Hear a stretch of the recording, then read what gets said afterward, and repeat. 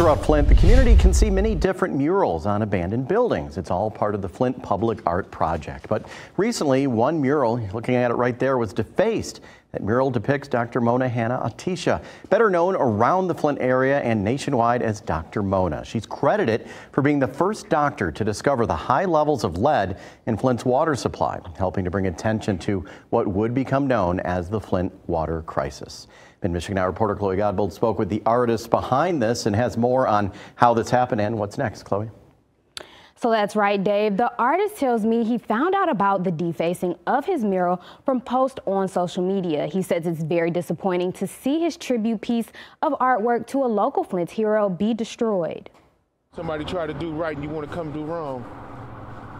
You know, Leave the good stuff alone. A mural paying tribute to a prominent local pediatrician now destroyed, with red paint splattered over her face. Obviously deeply saddened. Charles Boike is the artist of the defaced mural, which is on the corner of Stevenson Streets and Flushing Road in Flint, not far from Hurley Medical Center. Boike says this mural was painted to honor Dr. Mona Hanna Attisha, who helped make the public aware of the Flint water crisis. She uh, discovered the high elevated lead levels in children when the Flint water water crisis was going on. And I think it's a, a fitting tribute to the neighborhood, especially with its location to Hurley. Boike says this project took him 40 hours to complete and will be hard to fix because it's a large scale mural. So it requires kind of a, a scissor lift or a commercial lift to get to the top.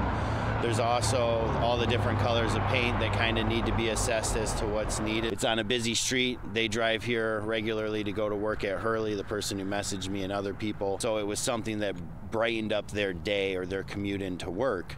Joe Schipani is the executive director of the Flint Public Art Project. He says over 300 murals have been painted around Flint by artists who are from all over the world. Schipani says this is not the first time an artist's mural has been damaged or destroyed. We found out mostly it's youth, Uh, but we've been able to fix them and move on. We've had a couple, couple little problems, but you know, it's not going to stop us. Schipani says when things like this happen, the person responsible is not only hurting the artist, but also the community.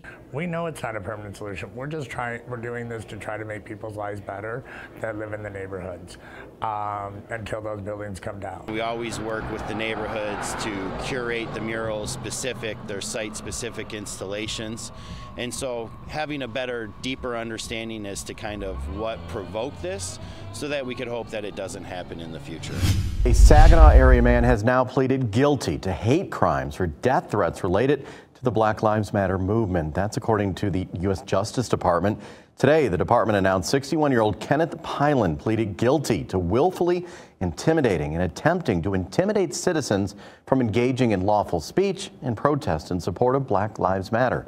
Pylan pleaded guilty to calling nine Starbucks stores in Michigan and telling the employees to relay specifically racial threats to Starbucks employees wearing Black Lives Matter t-shirts.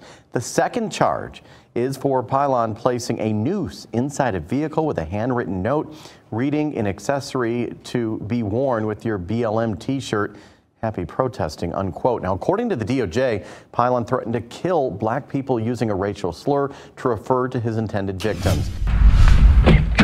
Every time we get in our cars, turn that key, drop it and drive, and hit the road, especially this time of year, the state police have a request. Make sure you're slowing down and paying attention to the roadway.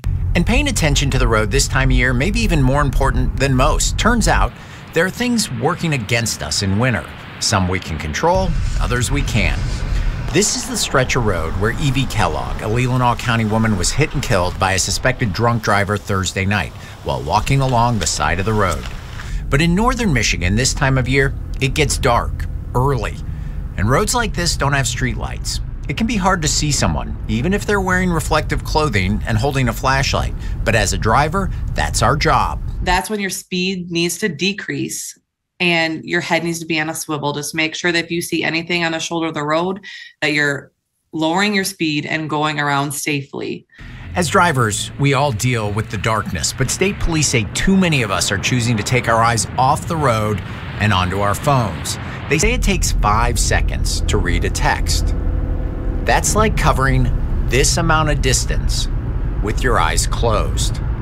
And it's not just our phones that are to blame. Know that everyone's distracted in one way or the other, whether it be children in the back seat, the radio, the cell phone. We just ask that you pay attention to your driving. But state police say it's another poor driving choice that's topping their concerns right now.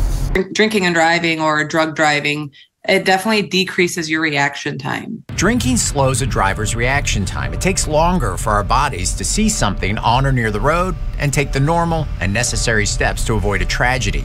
So, in some ways, a slower reaction time due to drinking is the equivalent of driving the same stretch of road much faster. It's harder for us to take in what we're seeing, like a pedestrian, process, and then act. If you have anything to drink, just make the right choice and get a designated driver. The state police remind all of us doing this safely sometimes comes down to simple choices we make that could have a life changing or life ending impact if we choose poorly. You know, oftentimes people are seriously hurt in these crashes where speed or alcohol is a factor. Um, this can be avoided and it can save lives.